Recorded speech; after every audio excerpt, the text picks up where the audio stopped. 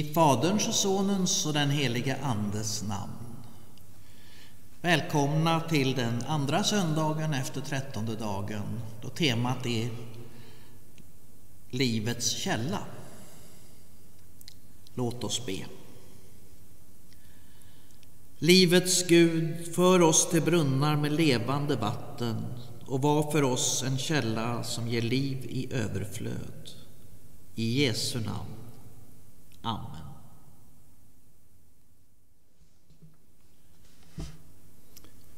Jag läser ur Johannes evangeliet kapitel 2. På tredje dagen hölls ett bröllop i Kana i Galileen och Jesu mor var där. Jesus och hans lärjungar var också bjudna till bröllopet. Vinet tog slut och Jesu mor sa till honom, de har inget vin. Jesus svarade, låt mig vara kvinna, min stund har inte kommit än. Hans mor sa till tjänarna, gör det han säger åt er. Där stod sex stora stenkärl för vattnet till judarnas reningsceremonier. Vart och ett rymde omkring hundra liter. Jesus sa, fyll kärlen med vatten. Och de fyllde dem till bredden. Sedan sa han, ös upp och bär det till bröllopsvärden. Och det gjorde det. Värden smakade på vattnet som nu hade blivit vin. Eftersom han inte visste varifrån det kom, men det visste tjänarna som hade öst upp vattnet, ropade han på brudgummen och sa Alla andra bjuder först på det goda vinet och på det sämre när gästerna börjar bli berusade. Men du har sparat det goda vinet ända till nu. Så gjorde Jesus det första av sina tecken. Det var i Kana i Galileen. Han uppenbarade sin härlighet och hans lärjungar trodde på honom.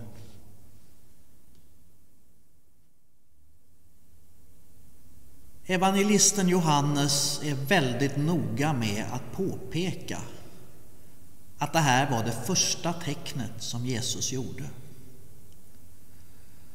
Och tänk, när Jesus börjar att visa sig med allt han ska göra så börjar han med att rädda en fest.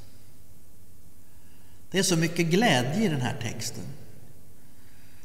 Inte minst för att eh, ett bröllop där vinet tog slut i den här kulturen på den här tiden, det var en social katastrof som jag tror få av oss kan förstå hur illa det var.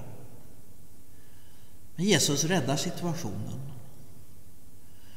Och han gör det motvilligt, kan det nästan verka. Jag har ofta mediterat över hans svar till Maria som är med, hans mor. När hon påpekar lite grann nästan enerverande, du, de har inget vatten. No, förlåt, de har inget vin. Och så svarar Jesus så oförskämt. Låt mig vara kvinna, min stund har inte kommit ännu. Och det jag har tänkt det är att det här kopplar jag tillbaka till Johannes påpekande att det här är det första tecknet Jesus gör. Och jag anar att mänskliga sidan, den mänskliga delen av Jesus, han är ju fullt ut människa och fullt ut Gud. Att människan Jesus här känner att gör jag nu någonting här så har jag kommit till punkten utan återvändo. Sen är det bara att köra. Sen har jag en tid framför mig av massor med arbete och jag anar var det kommer att sluta. Det är som om han ber sin mor i lite hårda ordalag att snälla, låt mig få vila en liten stund till. Låt mig få njuta av den här festen en liten, liten stund till. Men jag tror att Maria vet också, på ett omedvetet plan, att nu är det dags. Nu ska Jesus göra det han kom till jorden för att göra. Och hon säger ingenting mer till honom, men hon säger till tjänarna att håll koll på vad han säger nu och lyd honom. Det blir bra. Och så kommer den här fantastiska, fantastiska händelsen hur 600 liter vatten blir det godaste vin någon har smakat. Och det är som om Jesus inte bara fyller några stenkrukor med vatten för 2000 år sedan och gör det till vin. Utan det är som om han ständigt på nytt fyller upp mig och dig med det vatten som blir till vin, som blir till glädje, som blir till liv. Och Det är därför som vi har satt rubriken Livets källa på den här söndagen. Och det är därför som vi sjunger om livets källa i salmen också. Och det här är ett mysterium som ingen kan begripa intellektuellt. Men jag tror att vi alla, speciellt i dessa tider, behöver känna av glädjen, festens glädje som fanns omkring Jesus där och då och ta till oss det. Eftersom det är evangelisten Johannes så handlar det naturligtvis om vad som händer i nattvarden också. För den är alltid närvarande i hans texter på ett väldigt speciellt sätt. Men idag kan vi stanna inför att Jesus började sin offentliga verksamhet med att rädda en fest. Mm.